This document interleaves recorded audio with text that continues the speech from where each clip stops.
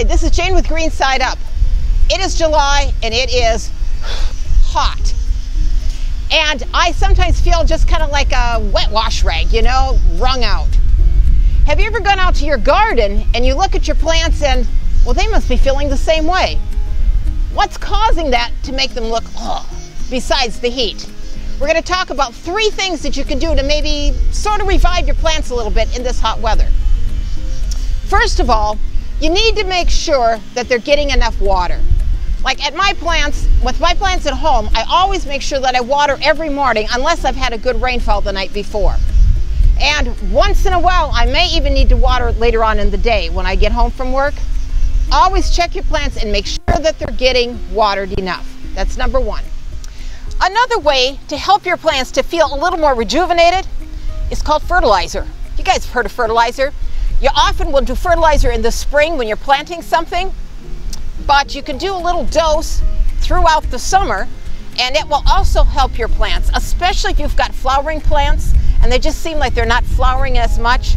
A good dose of fertilizer. You can use either the long-term fertilizer, um, the time-release fertilizer, or you can use like a liquid fertilizer that you just, you know, you put on every, I don't know, 10 days or so.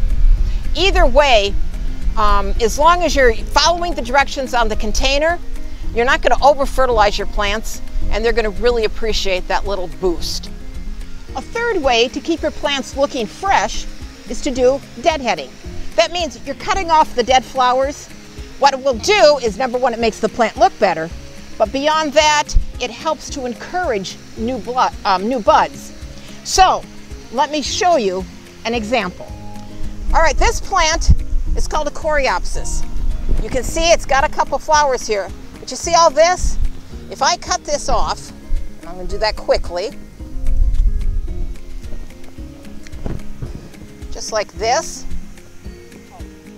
Just doing that much helps the plant to look better and it will encourage new flowers on it, especially if you're doing the watering and the fertilizing. So, watering your plants, fertilizing them, deadheading. Doing those three things, I promise you, it will help. Now, when it's really, really hot, they're still maybe going to look tired, just like you feel, but it will help. This is Jane at Green Side Up. If you have other questions, feel free to come in. And we've got lots of plants that are looking really nice. If you just think yours are too tired and you need to replace them, come on in and we've got some to sell you.